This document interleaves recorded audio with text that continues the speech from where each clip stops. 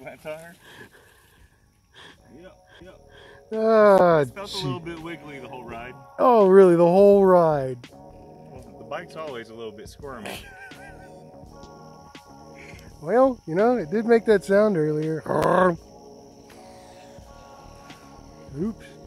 I guess we got like what, 14 easy miles back?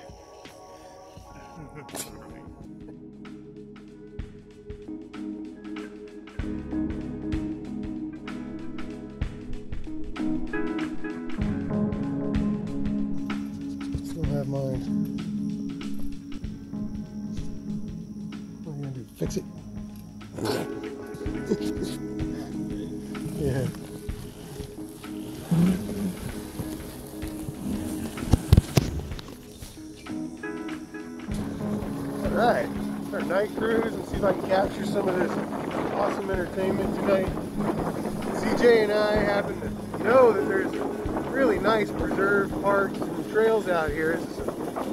place to live in Seabrook.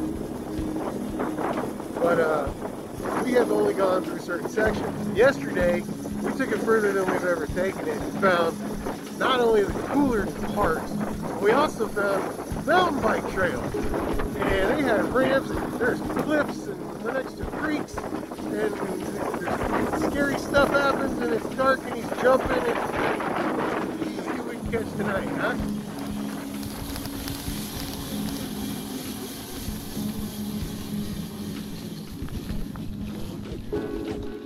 We gotta go this way then, huh? Or no? Yeah, we gotta go this way. Okay. Well, let's see what the Google says fastest way home. Yeah, yeah, yeah. That sounds like Yeah, that actually just went. It just happened. And you were like, you know what'd be cool is if I went over there and popped my tire. There we go. He's already way ahead of me because people are messaging me. I'm just trying to take a video.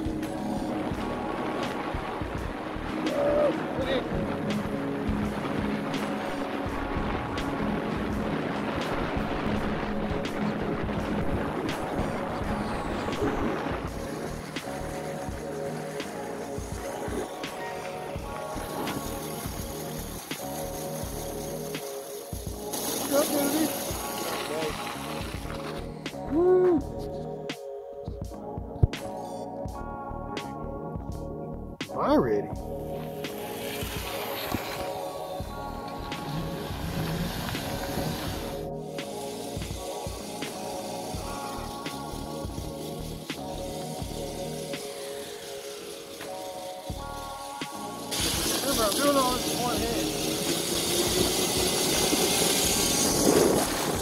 ain't got it like that. I ain't got no sponsors. I ain't spending money on cameras and shit. I got a cell phone with some foam on it that floats.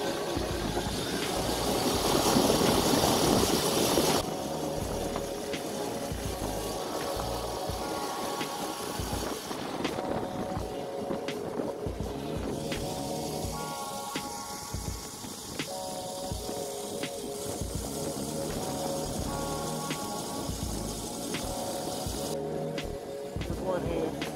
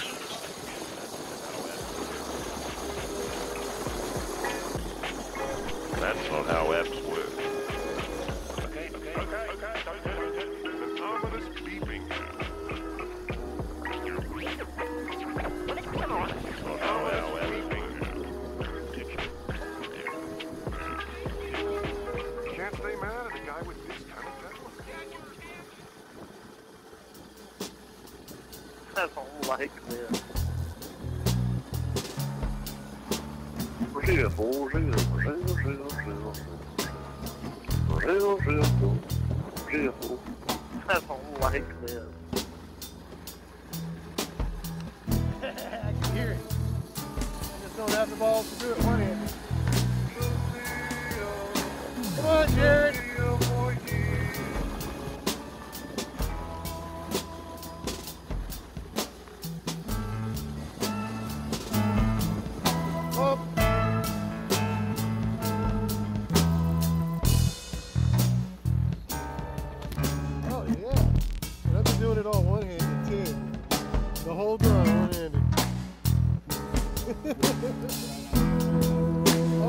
I don't like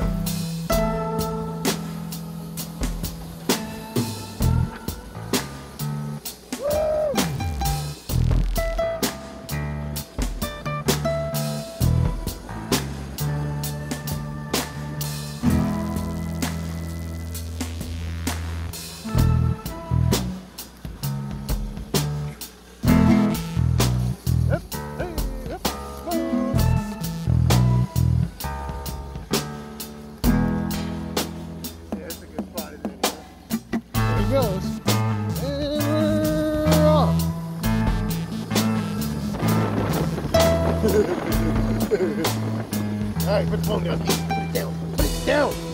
Put it down. I don't like tell you. this.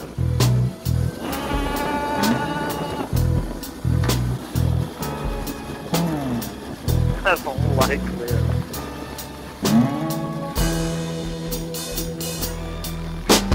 TJ and I found some axle spikes. How do you think we should do them? To the back or to the side? Hmm, I like that. I like that. oh, it's gnarly. What the semi did, took out a whole Uh, light.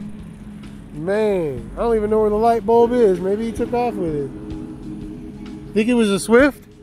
Yeah, definitely a Swift guy. This is a Swift guy. He left his lotto ticket. All right, this is yeah, this is the very end of where we were when we finished. And then that is the other side of the creek.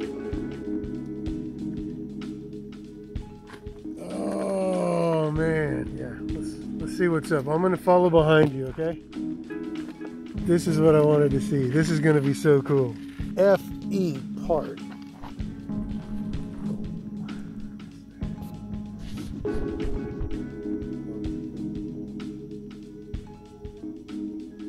Zero. Oh shit, I'm too loud.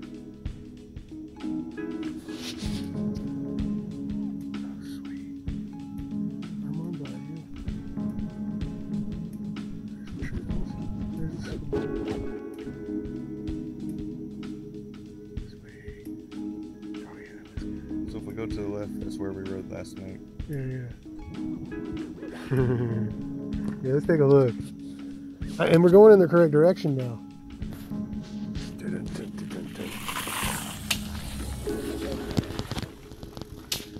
Of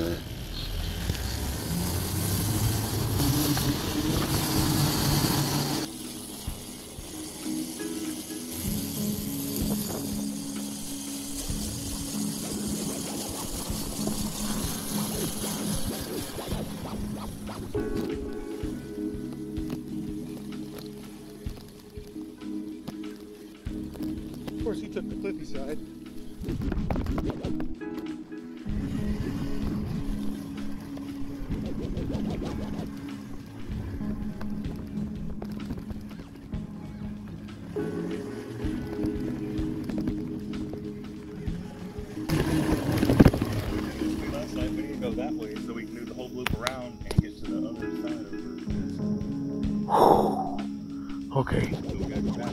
But that's the craziest part. Yeah, I remember that. I'm not holding my phone for that shit. We had to climb that thing like horses. Okay, all right. Putting the phone down. That was awesome. Dun dun dun. Oh yeah, that's definitely. A... Yeah, motherfucker. Well, put it back in the hole. Let's not let any more air leak out.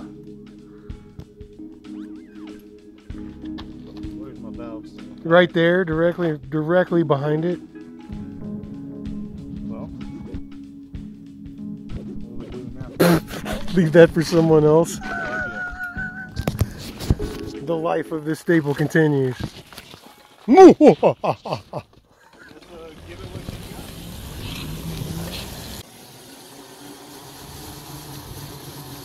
Yeah.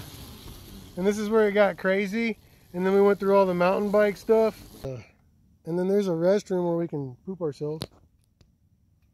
That's the way that we went earlier. This is the way for the normal people. This is the way for Cody and his junkie self. I was like, damn, that was a real gas bike.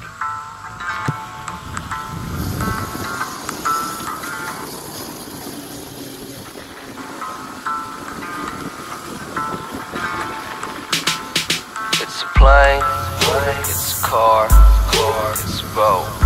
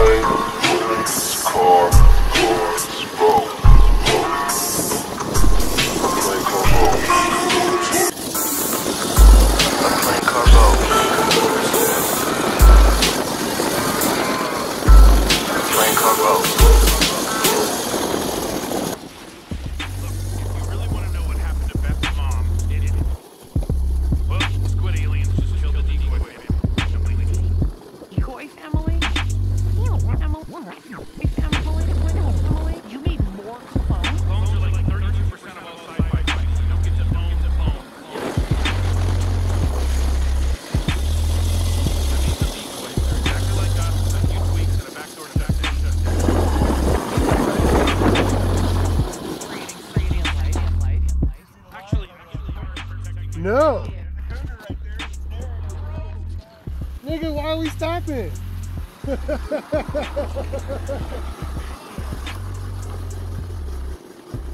White people, Jesus. I'm Indian and Mexican, so you stole all of our land.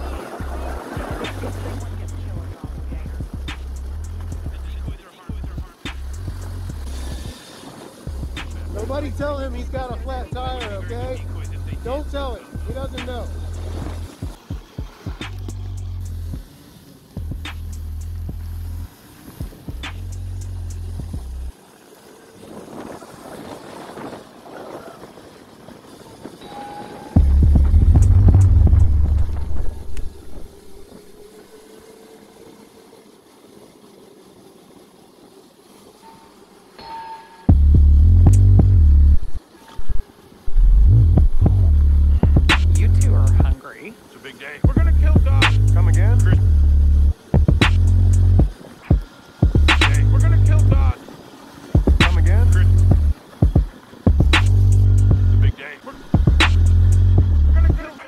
Doc. All right, home. Oh. I'm sorry. You gotta get a can of fix a friend, this sucker. Sleep slime. Slime. Yeah, I got slime back at the shop. Yeah, I got some slime. up there. I like that big gallon jug and you got the gray stuff. Yarp. Got you. There, there, kill him. Dun, dun, dun. Whack his ass. That's it for the night. Whack his ass. Whoa.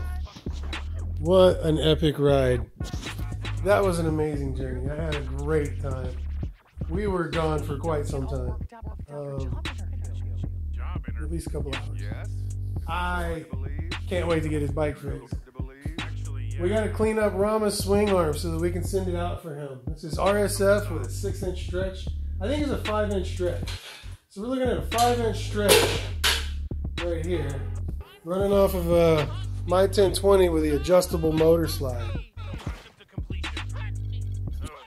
And then, of course, I've got the open caps. That way he can put on anything he wants as far as lighting on the front and the rear, giving him actual tail lights if he needs them. Uh, he's running off of a 51 millimeter bicycle mount, but we've added an extra 20 millimeters to it, so you don't have to buy the stupid aluminum adapter. This will fit a 160 millimeter rotor, no problem, right off the gat. You can even use your original brakes, and it'll work if you put a an original front wheel rotor onto the rear because if you buy one of these, there's a very, very, very high likelihood that you're also going to get the rotors. And if you get the rotors, well, you know, I got 160 and 190 over here somewhere. And, uh, well, you know, you just want to run those because they look so good and they're heavy and they're stainless steel and they're real thick. They're the right size and they fit those dirt bike brakes that we have so well.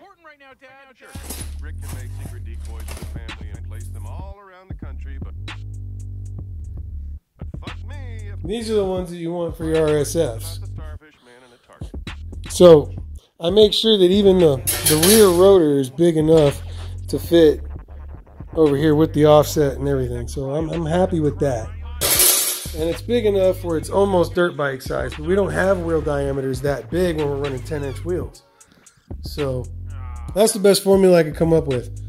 I'm only going to make a couple more of these and then I'm probably just going to start building our own bikes. Something like this, something like that, but a little bit bigger. I want to use Honda stems so that we can use Honda forks and we'll make our own frame, we'll make our own swing arms, and then we'll use these dirt bike stuffs and maybe some wheels. I know there's a B1 Bomb Moto. I appreciate the B1 Bomb Moto. I like Jordan Davis. However, that bike is not made in America. That bike is made in China and then shipped here. Hey man, I'm all for it. It's a great item. But wouldn't it be nice if there was an American made frame here for a small dirt bike that's electric that lets us do what we did tonight? Like that? I want to do that. But the cheapest that it's going to be, man, without batteries and a motor is to be like two grand. But I mean, it's going to be fully built. All you got to do is put a motor and batteries in it, right? You know, in your own shock or something like that and pick your own body. But I think we can deliver something like this for an affordable rate. I don't know how much to charge. We'll figure it out. But if you're interested, give me a like. And if you can, share it. I want to make bikes. I don't want to work for anybody. I like what I do. Let me work for you. Let me let me build bikes, man. Let me build more bikes. So tell me what you guys want. I know that the new Socian motor's out. Again, another Jordan Davis thing. That sounds awesome. I would love to be able to use that, but I ain't got the money for it. I got a QS 165 here. I got a QS 90 here. We got these modified My 1020s that we've been using forever. I love the size of these bikes, but I'd like it to just be a little bit bigger, wouldn't you? Make sure that our feet could come down a little bit further. I'd like to bring the frame a little taller, both sides, and bring it out a little bit. We can put a little kit in the back, run a 100 amp controller or whatever. These forks are great, but I wouldn't mind going just a little bit taller like the ones I have on the RSF. I know you want food. So we've got some taller forks over here on the RSF, if you'll notice, when you look at these two. And that's kind of what I want to roll with. So we're going to have to make a taller frame, kind of like it is right now. And then, you know, just make it more adult size so that we don't have to worry about falling over or getting leg cramps. I hate leg cramps. And we'll build it up. I'm going to take off those 10s, put on 12s, and make it a bigger bike. Anyways, adrenaline's kicking down. I need to eat. It's been a heck of an adventure. Please let me know what you guys think, man. I want to build more bikes. Let me know. Let me know.